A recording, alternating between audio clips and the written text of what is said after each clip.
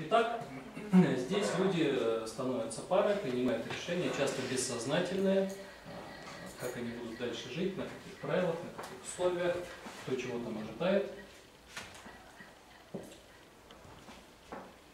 И в зависимости от того, насколько хорошо выстроены ожидания,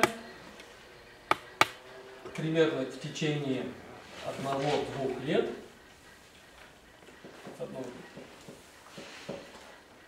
ну, один год, если пара состоялась, они переходят в следующую фазу. Фаза привыкания. Ну, честно, это третья пара, да? Фаза привыкания. Фаза привыкания характеризуется тем, что есть такое переживание, знаком, ну, вот, как бы сказать, все знакомо, Оно такое милое. уютно, да, как-то спокойно. Уже друг друга узнали более-менее, уже понятно, кто на что гораст, чего точно, скорее всего, не будет.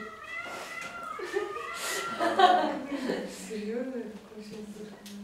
Привыкаем друг к другу, когда можно спокойно жить по плану друг с другом.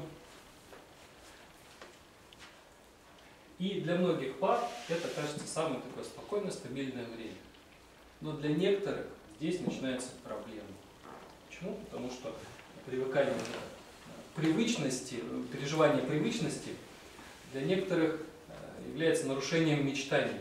У нас же романтический миф о любви какой? Любовь-то воспевает какую? Вот эту вот фазу. Когда буря чувств. Кипит разум. Да какой разум? Какого разума там нет? А для нормальных отношений большая часть времени характеризуется именно этой фазой, когда все более-менее спокойно. Вот как, как костер. Вот, здесь вспышка, максимальный огонь. Здесь огонь потихонечку угасает, здесь такой ровный, теплый жар есть. Еще может долго гореть. Вот эти первые три фазы, нормальные фазы, в которых живут э, благополучные пары.